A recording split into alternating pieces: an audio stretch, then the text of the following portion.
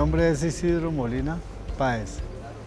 Vivo en la finca La Selva, del municipio de San Bernardo, vereda Pirineos Bajo, sector La Selva. Hace 20 años más o menos vivo en esta región. Soy un cultivador de fruta, de tomate, de árbol, de mora, de freijoa y de uchuva.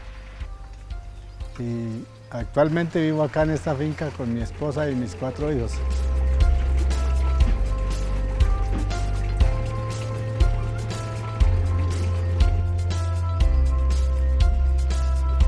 Pues ahorita por el momento lo que más tengo sembrado es tomate de árbol y freijoa.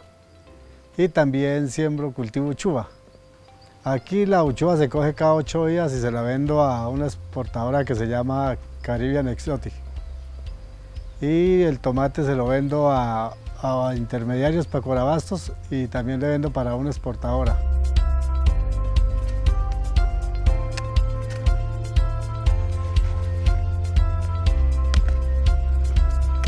Aquí en el campo uno se cría de una manera diferente, tiene uno la libertad de, de poder andar para todo lado sin ningún peligro por un lado. Por otro lado, la comida del campo es muy sana. Usted en el campo se vive de una manera muy sin estrés, sin ninguna clase de, de verdad que, que le da a uno pesar que el campo se vaya quedando solo. Y uno, verdad, a veces le, le pide uno de verdad a la, a la juventud, a la, a la gente que se va para la ciudad, más bien que se devuelva para el campo.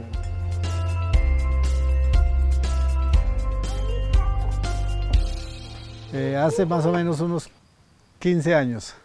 15 años saqué el primer crédito, lo saqué para Granadilla.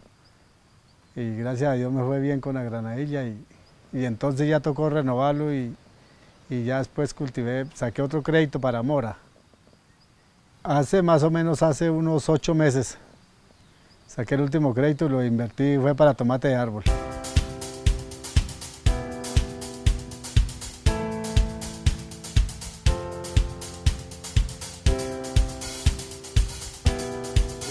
El Ministerio de Agricultura nos ayudó aquí con un programa de, por medio de una fundación, nos trajeron un programa para cultivar uchuva y mora. Entonces ese programa venía con todo, con todo especificado de trates de asistencia técnica, semillas, abonos y, y alambres para hacer instalación como tal, y maquinaria y herramientas, porque nos dieron desde un martillo en adelante hasta un alicate, hasta una máquina de fumigar de espalda y hasta una estacionaria.